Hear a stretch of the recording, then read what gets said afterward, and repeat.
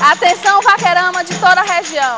Venha para a cidade de Alça, na Festa dos Vaqueiros, dia 16 de março. Tem novena, tem leilão, convido todos vocês para a Festa do Vaqueiro, que é no dia 16. É de 9 a 19, convido o povo de fé para a grande festa de Alça, festejo de São José.